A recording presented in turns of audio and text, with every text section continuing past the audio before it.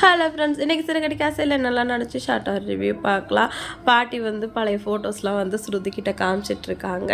அதில் வந்து ரவியோட ஃபோட்டோவை பார்த்துட்டு ஸ்ருதி வந்து கிண்டல் பண்ணிகிட்ருக்காங்க இருக்காங்க அண்ணாமலை சாரையும் சுஜியாவும் வந்து கோயிலுக்கு கூட்டிகிட்டு போயிட்டு முத்து மீனா வீட்டுக்கு கூட்டிகிட்டு வந்துட்டாங்க. இப்போ அவங்களுக்குள்ள பிரச்சனையெல்லாம் வந்து சால்வ் ஆகிடுச்சு பாட்டி வந்து நான் ஊருக்கு கிளம்புறேன் அப்படின்னு சொல்கிறாங்க முத்து நான் கொண்டு போய் விட்டுட்டு வந்துடுறேன் அப்படின்னு சொல்கிறாரு அண்ணாமலை சார் விஜயாவும் போட்ட சண்டை இப்போ அவங்களுக்கு சமாதானம் ஆகிறதுக்காக எல்லாரும் போட்ட எஃபெக்ட் இது எல்லாமே வந்து டோட்டலாக வேஸ்ட்டு அப்படி சொல்லிட்டு யாரெல்லாம் நினைக்கிறீங்க கண்டிப்பாக கமெண்ட் பண்ணுங்கள் அடுத்ததில் ரவி வந்து ஸ்ருதியை பின்னாடி இருந்து கட்டி பிடிக்கிறாரு.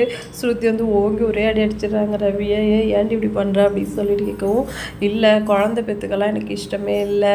நான் வந்து குழந்தை பெற்றுக்கிட்டாலும் வாடகை தை மூலமாக தான் பெற்றுப்பேன் அப்படின்னு சொல்லவும் ரவி ஷாக் ஆகிடுறாரு என்னடி வளர்ற அது ஒரு நல்ல ஃபீலிங் அதை வந்து வேண்டான்னு சொல்கிறாரு அப்படின்னு சொல்ல உனக்கு வலிச்சா உனக்கு தெரியும். எனக்கு தானே வலிக்க போகுது. குழந்தை வேணும்.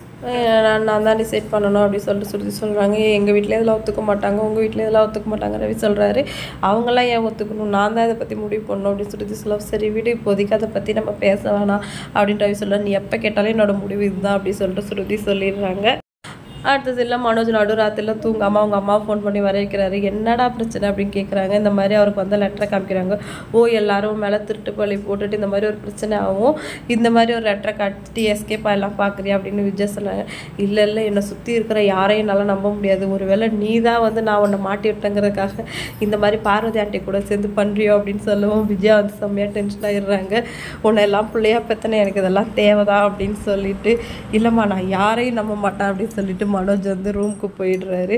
கடவுளை இவனுக்கு கொஞ்சமாவது உலக அறிவை கொடு அப்படின்னு சொல்லிட்டு விஜயா வந்து வேண்டிக்கிறாங்க. அடுத்த சீனில் வந்து முத்து வந்து ஒருத்தங்களை கூட்டிகிட்டு வராங்க. அவங்க ஃப்ரெண்டை அவங்க அப்பா கிட்ட கார் சாவியை கொடுத்துட்டு இதை நீ உன் கையால் கொடுப்பா அப்படின்னு சொல்கிறாங்க அவரும் வந்து கார் சாவி வாங்கிக்கிறாரு. இதே மாதிரி நீ சீக்கிரமாகவே கார் வாங்கணும்டா அப்படின்னு சொல்லிட்டு முத்து வந்து அவங்களுக்கு விஷ் பண்ணுறாரு இன்றைக்கி எபிசோட் வந்து இதோட முடிஞ்சிச்சு வீடியோ பிடிச்சா லைக் பண்ணிக்கோங்க. இன்னொரு வீடியோவில் மீட் பண்ணலாம். டாட்டா பாய்